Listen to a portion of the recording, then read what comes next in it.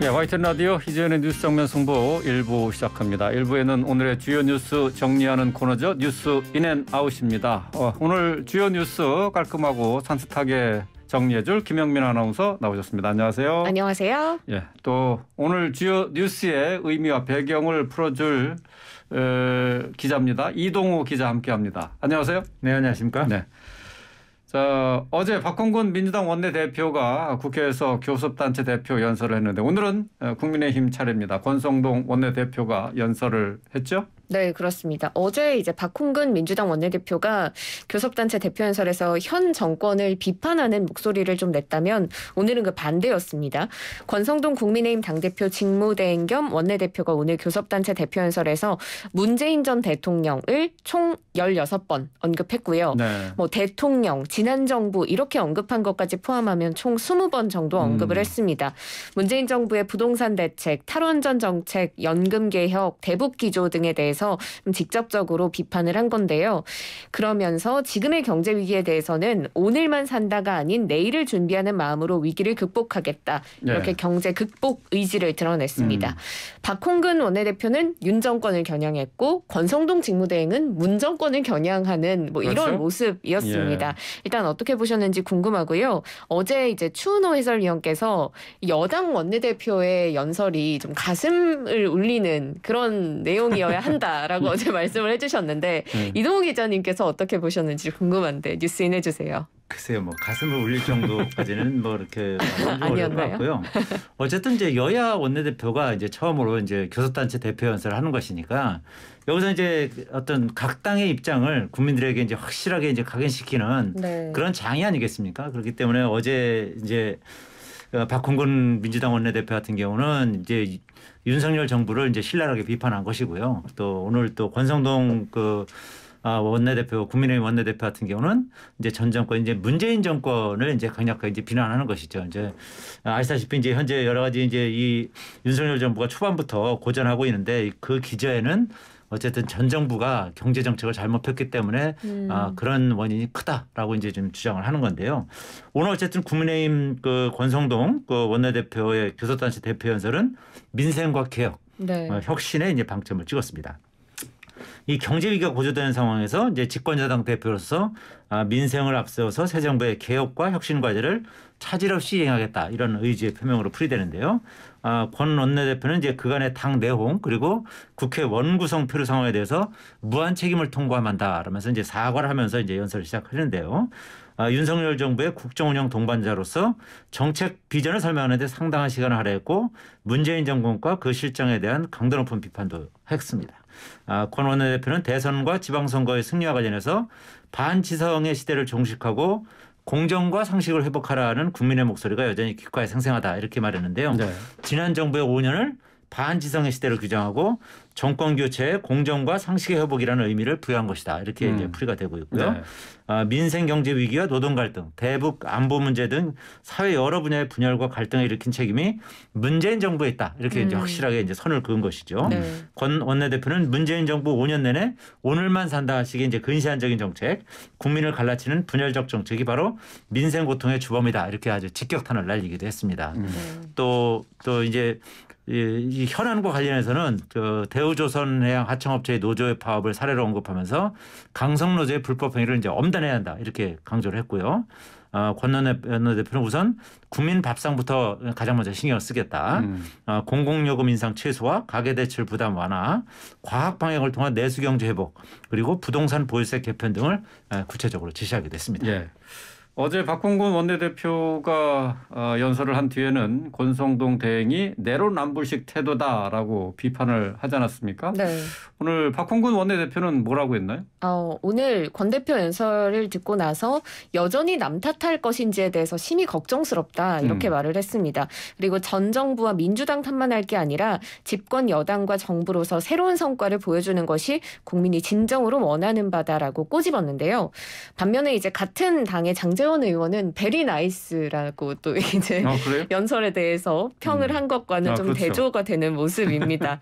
일단 두 사람 다 서로의 연설문을 듣고 비슷한 입장을 냈습니다. 음, 네. 박 원내대표의 입장 어떻게 보셨습니까? 지금 뭐 박홍근 원내대표 입장에서는 뭐 그렇다고 권성동 원내대표가 아주 대단히 연설을 잘했다라고 very nice라고 그렇게 하기는 곤란한 거 아니겠습니까? 정도도 안 되나 봐요. 이제 다만 이제 그 정치권에서 이제 상대당 그 원내대표 어떤 교섭단체 대표 연설이라든지 이런 부분에 대해서는 먼저 호평을 한 뒤에 뭐 좀 지적을 하고 이런 음. 모습을 보이면 그런 그 정치 풍토가 생기면 더 좋긴 할 텐데 네. 어쨌든 뭐 그 박홍근 원내대표 입장에서는 어 가뜩이나 지금 문재인 정부의 어떤 지지율도 낮아지고 이런 상황이기 때문에 아 이런 어떤 교섭단체 대표 연설을 이제 집중적으로 이제 비판을 하면서 어, 이 정부의 어떤 실정이라든지 아 어떤 국민의 어떤 민심이 좀 떨어지고 있다 이런 부분을 이제 부각하려는 이제 그런 의도로 보이는데요. 어, 어쨌든 그 오늘 교섭단체 연설에 대해서 이제 문재인 정부의 잘못을 지적하는 데만 집중했다 이렇게 네. 그 지적했죠. 음. 그리고 남 탓하지 말고 집권 여당으로서 정책 성과를 보이는데 집중해야 한다 이렇게 뭐 비판을 했습니다. 어, 박홍근 원내대표는 연설을 보니까 국민이라는 단어가 34번, 규제라는 단어가 24번 나오는데 문재인과 민주당이라는 단어를 합치니까 28번 가량이나 되는 것 같다. 음. 여전히 남 탓을 하는 것인지 심히 걱정스럽다 이렇게 음. 지적을 했는데요. 아, 그러면서 국민이 원하는 통큰 모습을 보여달라. 아, 민심에 귀를 기울이면서 성과로 입증하는 유능을 보여달 유능함을 보여달라 이렇게 촉구하기도 했습니다. 음. 예. 그런데 지금 이재명 의원도 입장을 냈는데 자신의 무능함을 남 탓으로 돌리는 아주 민망한 음. 장면이었다 이렇게 비슷한 톤이네요. 네, 권대행의 입장을 냈습니다. 그런데 이재명 의원이 이렇게 입장을 냈다는 게 이제 당 대표 출마를 공식화했기 때문에 이제 본격적으로 목소리를 내기 시작했다 이렇게 봐도 될까요? 뭐 당연히 그렇다고 볼 수 있을 것 같습니다. 음. 어차피 이제 지금 현재 정치권에는 어대명이라고 해서 어차피 민주당 대표는 이재명 뭐 이런 그렇죠. 말이 지금 파다하게 퍼지고 있는 거 아니겠습니까? 아, 이런 상황에서 어쨌든 그 여당에 대해서 여당의 어떤 그 교섭단체 대표 연설에 대해서 확실하게 이제 비판을 함으로써 어떤 당 내외에 어떤 존재감을 과시하는 뭐 그런 측면도 있는 것으로 보이고요. 어, 어쨌든 그 이재명 삼인 고문이 오늘 뭐 이렇게 얘기를 했습니다. 더 나은 국가, 더 나은 국민의 삶을 위해서 정치가 미래로 가야 한다. 그런데 자신의 무능함을 남 탓으로 들리는 아주 민망한 장면이었다. 이렇게 음. 꼬집었지 않습니까? 그러니까 어떻게 보면 이제 민주당 그 지지자들을 의식을 해서 뭐 오늘 교수단체 대표 연설을 이제 신랄하게 음. 비판을 함으로써 어떤 민주당 그 지지자들의 어떤 가려운 데를 긁어주는 음. 어, 그런 역할을 했다 이렇게 어, 해석할 수 있을 것 같습니다. 네.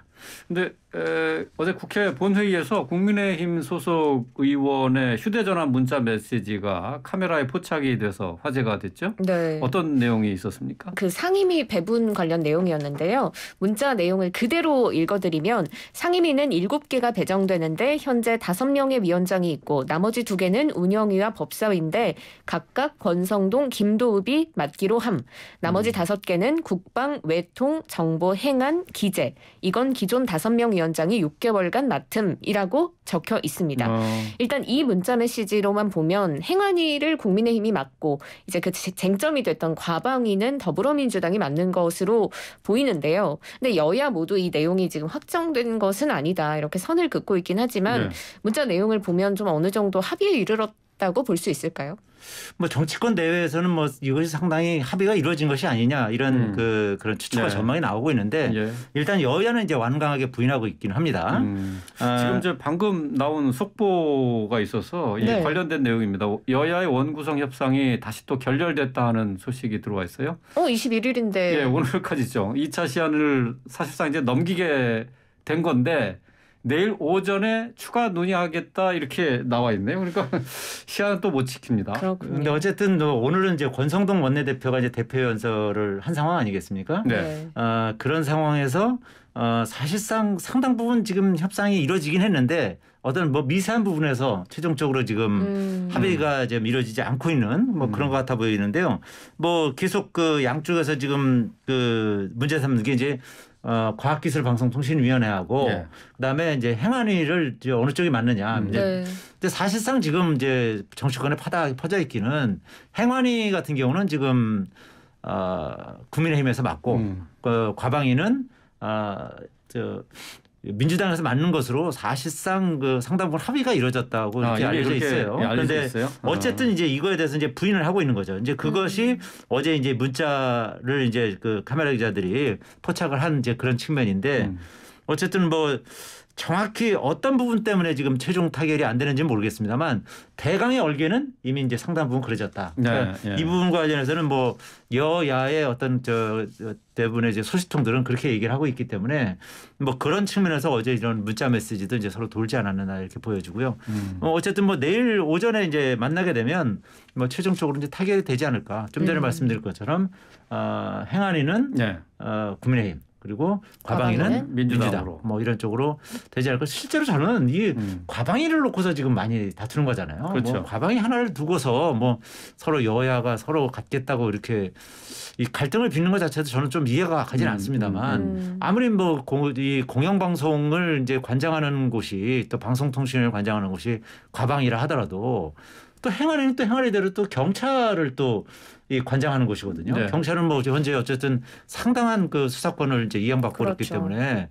경찰도 이제 상당 무소불위의 이제 권력을 갖는 그런 그 권력 기관이기 때문에 이 부분은 이제 여야가 원만하게 결국 음. 타결을 음. 이루지 않을까 음. 그렇게 전망을 하고 있습니다. 네. 뭐 다들 뭐 옆에서 지켜보는 사람들은 뭐 그렇게 그게 중요하냐 이렇게 얘기를 하고 있는데 이게 싸움이 끝나지가 않습니다. 어쨌든 뭐 내일 다시 또 어, 논의를 한다고 했으니까 일단 시한은 넘기게 됐습니다. 자. 어, 다음 주제로 넘어가겠습니다. 안철수 의원이 오늘 국민의힘 당권 구도에 대한 입장을 밝혔네요. 네. 권성동 직무대행 체제를 그대로 유지해야 한다. 라고 이렇게 얘기를 했어요. 네, 우선 여당은 의원총회에서 결의한 대로 현 당대표의 의혹이 해소될 때까지는 권성동 직무대행 체제로 흔들림 없이 나아가야 한다. 이렇게 밝힌 건데요. 지금 조기 전대를 해야 한다는 엇갈린 의견들이 나오고 있지만 권대행의 체제에 좀 힘을 실어주는 그런 네. 모습입니다. 당대표의 거리가 아니기 때문에 이런 상황에서는 조기 전대론을 주장하더라도 당장 실현될 수가 없고 혼란만 부추길 뿐이다라고 했는데요. 그래서 이제 오늘 언론에서 보니까 철권 연대 이런 말이 나오더라고요. 안철수 권성동 연대 해가지고 아, 철권 연대 네, 그런 말도 나오고 있고요. 음. 지금 안철수 의원이 직무대행 체제에 힘을 실어준 배경이 뭐라고 보시는지 뉴스인 부탁드릴게요. 그러니까 안철수 의원 입장에서는 뭐 어떻게 보면 당내 세력이 상당히 미미한 거 사실 아니겠습니까? 네. 그 원래 어 전에 그 국민의당 때 그 의원이 세 명밖에 없었지 않습니까? 이제 그런 음. 상황에서 윤핵관 그룹하고 이제 마찰을 피하면서 어떤 당내 세력 기반을 확대하면서 시간을 벌고 아, 전당대회 때 한번 제대로 한번 붙어보자 이런 뭐 준비를 하는 것으로 이렇게 풀이가 되는데요.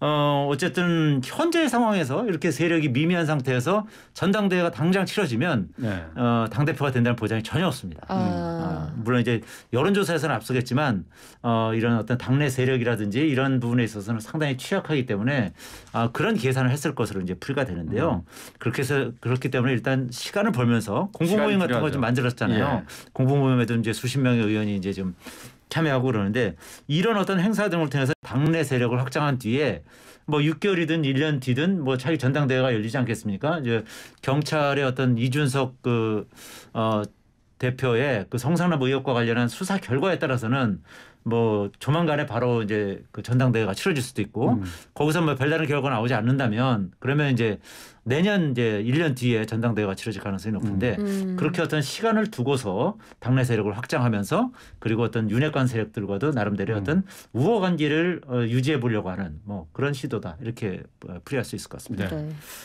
조기 전당대회에 대한 얘기가 어, 꾸준히 나오고 있는데 여기에 이제 선을 그은 것으로 봐야 되겠습니다만은 오늘 또 김기현 의원이 다시 한번 또 조기 전대에 대한 목소리를 냈네요. 그렇습니다. 이준석 당대표가 복귀하게 되면 그동안의 윤리위의 결정이 옳았는지 진심이 어떤지 아닌지를 떠나서 결국 내부의 갈등은 더 커질 수밖에 없다 이렇게 밝힌 건데요. 음. 병도 초기에 제대로 대응하면 빨리 수습도 되고 비용도 적게 들고 고통도 덜 생긴다. 자꾸 시간을 놓고 방치하면 나중에 회복에 막 막대한 지장이 있을 수 있다면서 그런 차원에서 위기 초반에 특히 정권 출범 초기에 특단의 위기 의식을 가지고 대응을 해야 한다 이렇게 밝혔습니다. 그러니까 사실상 이제 조기 전대 목소리를 낸 건데요.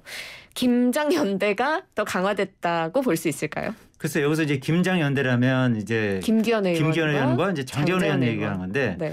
뭐 전에 그 이준석 의원이 간장 연대라는 또 얘기했지 않습니까? 그렇죠. 예, 뭐 여기서 이제 간장 연대는 이제 간을 많이 본다 그래서 이제 안철수 간철수라고 하고 장은 뭐 장재원 의원을 얘기하는 거 아니겠습니까? 그렇지만 뭐 이 장재원 의원 같은 경우는 조기 전당대회에 대해서 나름대로 선긋기를 했습니다. 아, 어. 지금 어쨌든 아, 이거는 이제 의원들의 총의를 모아서 현재 어쨌든 아, 이 권성동 그, 그 대표 체제를 유지하기로 그렇게 네. 결론 낸 거기 때문에 이것은 존중해야 된다 이렇게 분명히 선긋기를 한 상황이기 때문에 네. 뭐이 김장연대란 말은 조금 어떻게 보면 현재 어떤 여러 가지 어떤 정치 상황과는 맞지 않는 뭐 그런 음. 측면도 있다고 볼수 음. 있습니다. 네. 또그 김기현 원내대표 입장에서는 아까 말씀드렸듯이 현재 당내 그 역학 구도로 봤을 때는 상당한 세력을 가지고 있습니다. 음. 직전에 원내대표를 했었고요. 음. 그리고 어, 이 당내 그 의원들 사이에서 상당히 평이 좋은 편이고 음. 그리고 윤석열 그 대통령과도 원내대표 하면서 상당히 호흡이 잘 맞았기 때문에 아, 비교적 그저 우호층이 상당히 많은 편이거든요. 네. 그렇기 때문에 네. 지금 당장 그 전당대회를 한다면 가장 유리한 그 위치에 있다고 저는 음. 개인적으로 오. 보는데 근데 그런 상태이기 때문에 지금 아, 이런 그 어떻게 보면 이제 조기 전당대회를 촉구하는 그런 목소리를 이제 계속 내고 있는 것이죠. 음, 음. 음. 그리고 또 이뿐만 아니라 이제 조혜진 의원 같은 경우도 이제 김기현 그 의원한테 좀 힘을 실어주고 있거든요. 네. 어, 삼선인 조혜진 의원도 직무대행 체제로 일단 출범한 상태지 그 체제가 가장 옳다고 다수가 동의하고 의결해서 한 것은 아니다. 역시 비대위로 가는 게 맞다 이런 생각을 더 강하게 하게 된다 이렇게 말하기도 했거든요. 네. 그러니까 음. 현재 어떤 체제가 굉장히 불안하다. 어? 음. 뭐 이런 그 얘기를 하고 있고 이런 부분은 뭐 여러 의원들이 지금 이런 비슷한 얘기를 하고 있거든요. 네. 그러니까 어쨌든 이런 가운데 이준석 대표의 이제 성상납 의혹에 대한 경찰 수사가 이 음. 권성동 대표 체제를 포함한 이제 국민의힘 진로에 결정적인 변수가 될 가능성이 높습니다. 좀 전에 제가 설명드렸듯이 어쨌든 수사 결과에 따라서 음. 그 수사 결과가 만약에 어, 이 대표를 기소하는 방향으로 만약 가게 되면 예, 예. 그러면 기소가 되면 바로 당원권 정지가 되거든요. 음. 그러면서 사실상 당 대표를 사퇴해야 되는 그런 상황에 몰리는 거고 그러면 바로 전당대회를 하게 되는 겁니다. 그런데 예. 경찰 수사가 만약에 어, 뭐 그런 방향으로 가지 않는다면 그러면 이제 어, 이 대표가 이제 복귀하는 뭐 그런 수순을 음. 가겠죠. 그러니까 네. 결국은 음. 경찰 수사가 현재 그 국민의힘 당권 음. 그 구도에는 가장 큰 영향을 미칠 수밖에 없는 그런 음. 변수다 이렇게 볼 수 있을 것 같습니다. 네. 경찰 수사 전에 당의 진로를 결정할 것인가 아니면 수사 결과를 볼 것인가 아마 당 내에서는 계속해서 잡음이 일어날 것 같아요. 자, 계속해서 어, 다음 이슈 보겠습니다. 오늘 이재명 의원의 대항마로 꼽히는 97세대 의원들이 토론회를 열었습니다. 어떤 내용들이 나왔죠? 네, 이른바 양강 양박으로 불리죠. 강병원, 강훈식, 박용진, 박주민 후보가 오늘 민주당 재선 의원 당대표 후보자 토론회를 열었습니다. 박용진 후보는 이재명 후보는 혁신의 주체가 아니라 쇄신 대상이 돼가고 있다면서 단일화를 강조했고요. 박주민 후보도 단일화에 대해 서 대선 열려 있다. 하지만 이제 접점이 있어야 한다라고 했습니다. 강훈식, 강병원 후보도 이제 단일화에 대해서 공감하는 목소리를 냈는데 단일화에 대한 이제 서두를 뗀 건 좋지만 그럼 여기서 중요한 건 이제 누구로 단일화할 것이냐의 문제가 될 것 같습니다. 단일화가 어떻게 잘 이루어질까요? 뉴스인 해주세요. 글쎄요, 단일화 저는 뭐 결코 쉽지는 않다고 보여집니다. 음. 아, 왜냐하면 그 이 주자들 간에 이견이 워낙 크고 그리고 그냥 일부 주자들 같은 경우는 사실상 뭐 단일화에 대해서 좀 부정적인 입장도 있고요. 네. 다만 어, 박영진 의원이라든지 그리고 강병원 의원, 서른 의원 같은 경우는 상당히 단일화에 이제 적극적인 그런 의지를 보이기 때문에 네. 아, 이들만의 어떤 단일화는 뭐 이루어질 음. 수 있을 음. 가능성이 있다고 봅니다.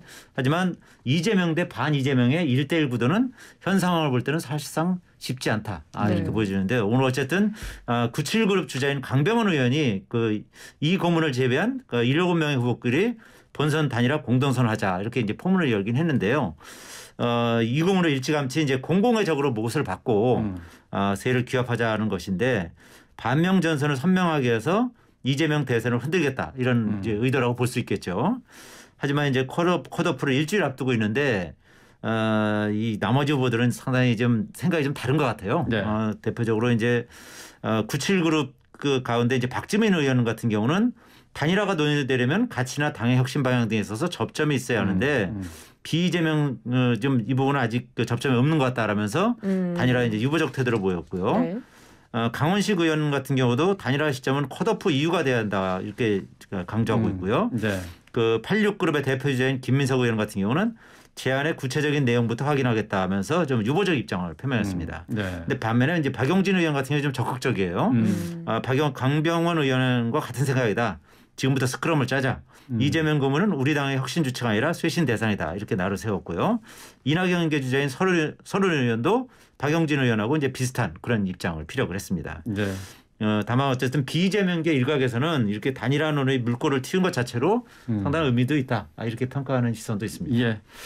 저뭐 단일화와 관련해서 이제 이재명 의원 측에서는 공식 대응을 하지 않았습니다만은 그 관련 인사 같은 경우 이제 비전 경쟁을 하지 않고 참 한심하다 이렇게 비판을 하기는 했어요. 네. 자, 뭐 이제 다음 주 얘기한 대로 일주일 뒤에 컷오프가 주- 어, 예정이 돼 있기 때문에 어, 일정상으로도 좀 단일화는 쉽지 않아 보입니다. 자, 오늘 어, 뉴스 인앤아웃은 여기까지 하도록 하겠습니다. 김영민 아나운서 이동우 기자와 함께했습니다. 고맙습니다. 고맙습니다. 예, 감사합니다.